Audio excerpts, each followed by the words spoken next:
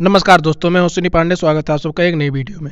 नौ हाल ही में 8 जनवरी 2023 को एक डेलीगेशन आया इस्लामिक स्कॉलर्स का, जो 14 कंट्रीज़ से आया था, जिसमें सऊदी अरेबिया, यूनाइटेड अरब अमीरात, Syria, Egypt, Bahrain Tunisia and Bosnia और हर्जोगोविनिया के लोग शामिल थे। यानी यहाँ सबके उलेमा वगैरह रहे थे, ये स्कॉलर्स थे, इस्लामिक स्कॉलर्स थे।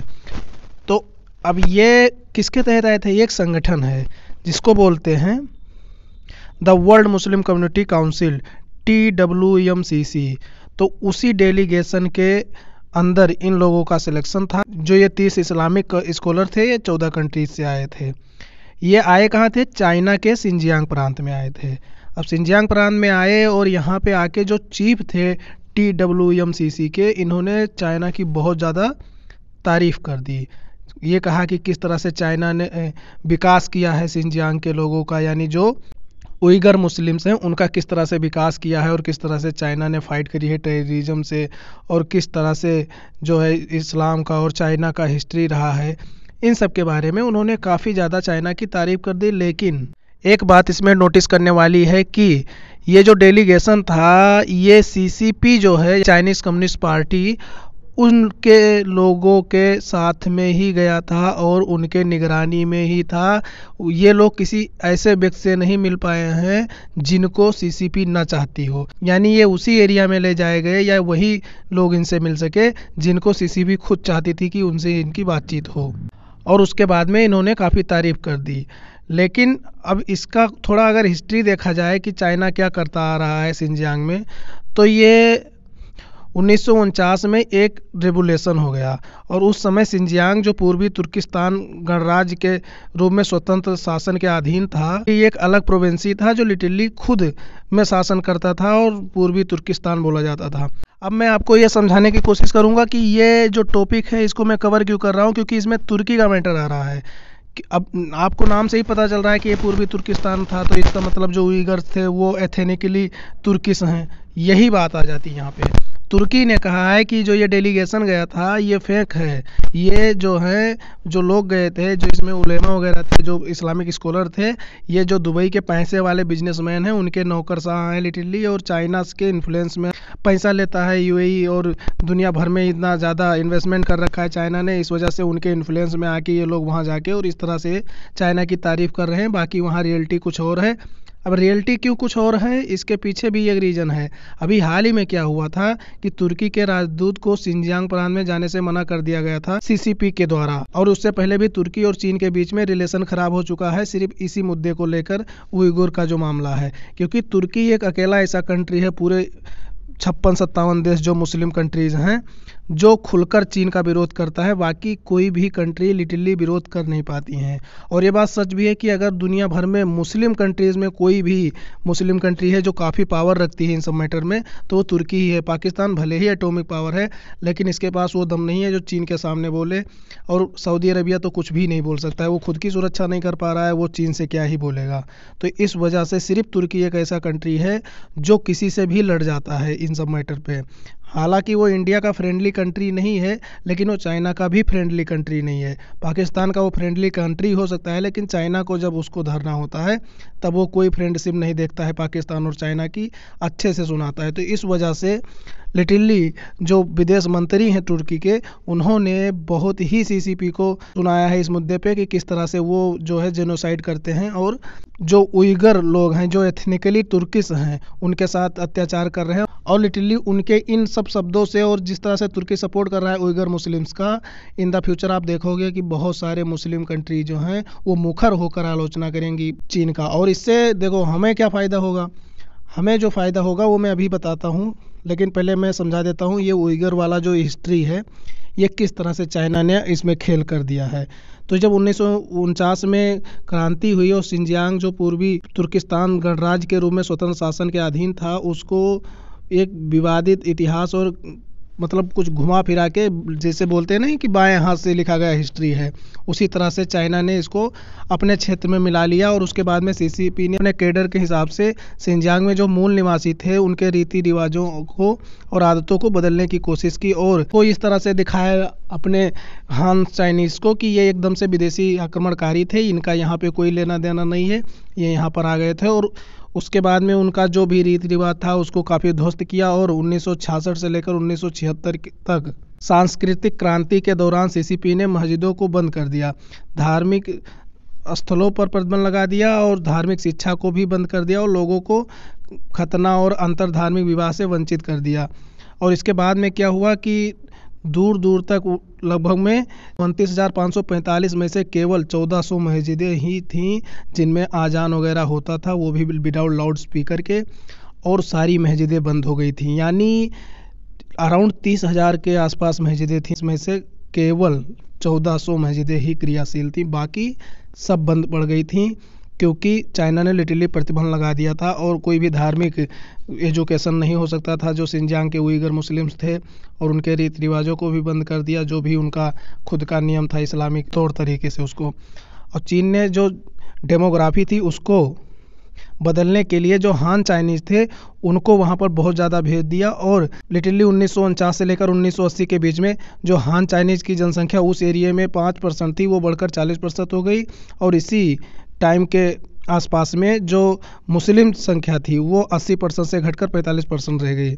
और 1978 के आर्थिक सुधारों के कारण जो उनका इकोनॉमिक रिफॉर्म हुआ, उसके बाद से जो उइगर मुस्लिम थे और जो अन्य मुस्लिम अल्पसंख्यक थे, उनके बीच में काफ़ी अलगाव बढ़ गया, क्योंकि लिटिली काफ़ी डिस्क्रिमिनेशन किया गया। 1990 के बाद में जो ये अलग होने का मनसा था, इनका और उग्रवाद रूप में हो गया, और उसके बाद में जब ये उग्रवादी हो गए, क्योंकि उन लोगों को ये बात पता चल गई कि अब ये चाइना हमें छोड़ने वाला है, नहीं तो लिटरली वो लोग फिर फ्रस्ट्रेटेड होकर और कुछ उल्टे सीधे काम में इन्वॉल्व हो गए और उसके बाद में चाइना ने उनको घोषित कर दिया आतंकवादी।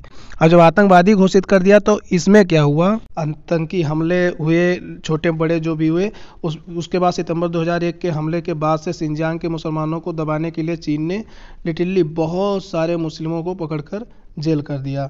अगर सिंजियांग की जियोग्राफी देखा जाए और उसके अकॉर्डिंग देखा जाए कि ये चाइना के लिए कितना इम्पोर्टेंट है। तो जो चाइना ने 2013 में बहुत ही ज़्यादा महत्वाकांक्षी योजना बेल्ट एंड रोड इनिशिएटिव यानी बीआरआई का अनावरण किया था। उसमें बीआरआई का तीन प्रोजेक्ट ऐसा है जो सिंजियांग से होके जाता है, जिसमें एक जो बहुत विवादित है सी वो भी उधर से ही जाता है, यानी जो इंडिया के क्षेत्र से होकर जाता है पाको को बाइट कश्मीर से, वो भी उसी में है और काफ़ी संवेदनशील है और इन द फ्यूचर इंडिया उसको डिस्ट्रॉय कर ही देगी, आज नहीं तो कल, जब लिटरली पीओके को वापस लेगी उस टाइम पे, और तब देख लेंगे चीन को भी और पाकिस्तान को भी।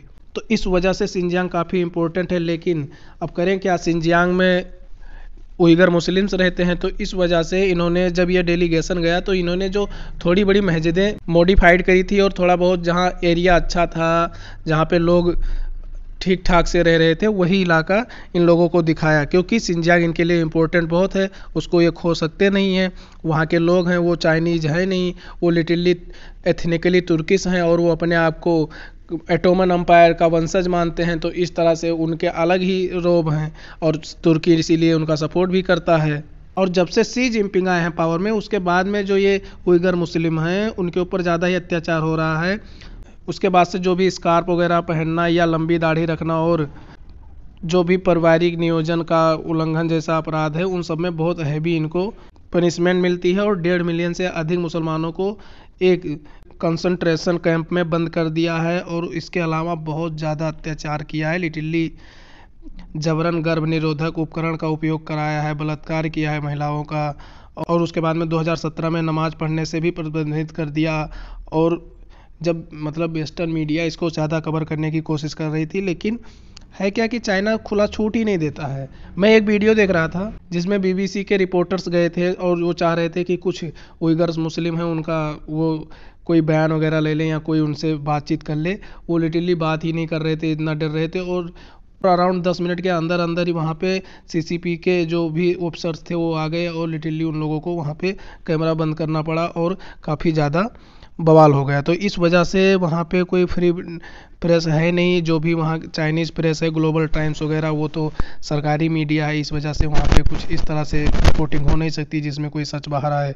बाहर का जो भी कोई जाता है, उसको वो लोग कैमरा चलाने नहीं देते हैं, और कैमरे के पीछे तो जब उन्हीं का देश है तो कुछ भी कर सकते हैं, उसमें क्या है। और बहुत सारे ऐसे भी न्यूज़ हैं कि लगभग में कई सौ लोगों के बॉडी पार्ट्स जो है निकाल निकाल कर सीसीपी ने और बेच दिए, जो हान चाइनीज़ हैं, उनके बॉडी में सेट कर दिए, उनको अगर किसी लीवर और किडनी की कमी थी तो उन पर लगा दिए गए। इस तरह से उन्होंने ये अत्याचार किया उन पर। और उइगरों की संस्कृति को मिटाने के लिए लगभग में 440 से अधिक उइगर बुद्धिजीवियों को गिरफ़्तार भी किया गया। जो सिंजियांग प्रांत का कपास है, उसको लेने से मना कर दिया यूएसए ने और बहुत सारी कंट्रीज़ ने इसका विरोध भी किया कि इस तरह से वो अत्याचार कर रहे हैं, ह्यूमन राइट का वायलेशन कर रहा है चीन, सिंजियांग प्रांत में। तो यूएसए ने तो लिटरली बोल दिया था, हमें कपास नहीं चाहिए। कपास इसलिए नहीं चाहिए क्योंकि वो कपास जो बंधुआ मजदूरी होती है, उसके तहत उगवाया था चाइना ने और उसको बेचना चाह रहा था दुनिया में तो लिटरली यूएसए ने मना कर दिया और सैंक्शंस वगैरह भी इस पे लगाए हैं। लेकिन चाइना की इकोनॉमी बड़ी है, उसको फ़र्क नहीं पड़ता है। सारे मुस्लिम देशों को खरीद रखा है। एक टर्की है जो इनके खिलाफ बोलता है खुलकर। बाकी तो ये सब बिके हुए हैं। पाकिस्तान, सऊदी अरबिया सब बिके हुए हैं। तो इन द फ्यूचर, ये लोग तो कुछ नहीं कर सकते। और अब इसमें इंडिया का क्या बेनिफिट है? अगर चाइना को इस तरह से मुस्लिम देश धर लेते हैं तो इसमें फ़ायदा यही रहेगा कि इनकी मार्केट वैल्यू जो है ना, डाउन हो जाएगी और इनका विरोध होगा, इनके सामानों का बहिष्कार होगा विदेशों में। इंडिया एंट्री लेगा वहाँ पर और ये काफ़ी अच्छा होगा, क्योंकि हमें मार्केट्स चाहिए। क्योंकि इंडिया भी लिटरली एमर्ज कर रहा है वर्ल्ड फैक्ट्री के रूप में। अगर टर्की को छोड़ दिया जाए तो कोई भी मुस्लिम कंट्री इतना मुखर होकर चाइना के अगेंस्ट नहीं बोल सकती। देखो टर्की वैसे चाहे पाकिस्तान का मित्र मुल्क है और लिटिली वो इंडिया के खिलाफ काफ़ी साजिश करता है यूनाइटेड नेशन में भी और सब कहीं। लेकिन जो उसका लोकेशन है, वो देखा जाए तो यूरोप के आसपास में है। लिटरली अंकारा जो है, वो यूरोप में पड़ता है। तो इस वजह से उसके जो विचार हैं वो काफ़ी ठीक ठाक हैं ह्यूमन राइट वगैरह को लेकर। और रही बात इकोनॉमी की तो उसकी भी इकोनॉमी गिर रही है, उसकी लीरा टर्किस लीरा गिर रही है, उसके बावजूद वो चाइना को धमका रहा है। लेकिन पाकिस्तान ऐसा कभी नहीं कर सकता है। एक ट्वीट गलती से हो गया था तो माफ़ी मांगा है, पैरों पड़े हैं सी जिनपिंग के पाकिस्तानी मालिक। गलती हो गई इस तरह से। इन द फ्यूचर देखा जाएगा कि किस तरह से अन्य नेशन इसके अगेंस्ट बोलते हैं। जैसे कि बांग्लादेश में बहुत सारा विरोध प्रदर्शन हुआ था उइगर मुस्लिमों के सपोर्ट में। तो अगर ऐसे और कुछ दो चार नेशन हैं जो कि बांग्लादेश भी काफ़ी अच्छा पार्टनर है, चाइना का अगर वहाँ पे ऐसा होता है तो उसके सामान वहाँ नहीं बिकेंगे तो इंडिया का ही सामान वहाँ बिकने वाला है। इसके अलावा और बहुत सारी कंट्रीज़ हैं जहाँ पे इंडिया डोमिनेट कर सकता है और चाइना लिटरली जिस तरह से ह्यूमन राइट का वायलेशन कर रहा है, इसको पनिशमेंट मिलनी ही चाहिए। हालाँकि यूनाइटेड नेशन ने भी इसको जेनोसाइड करार दिया है, लेकिन चाइना को फ़र्क नहीं पड़ता है। जिसके पास पैसा बहुत होता है, उसको ये छोटे मोटे पाप लगते ही नहीं है, वो ऑटोमेटिक धुल जाते हैं। वही हो रहा है सऊदी अरबिया जैसा देश कुछ बोल ही नहीं रहा है। जो डेलीगेशन आया है, वो तारीफ़ करके गया है। वर्ल्ड मुस्लिम कम्युनिटी काउंसिल का। बाकी ऐसी और वीडियो देखने के लिए आप हमारे चैनल को सब्सक्राइब करें, वीडियो को लाइक करें, मिलेंगे नेक्स्ट वीडियो में, जब तक के लिए जाए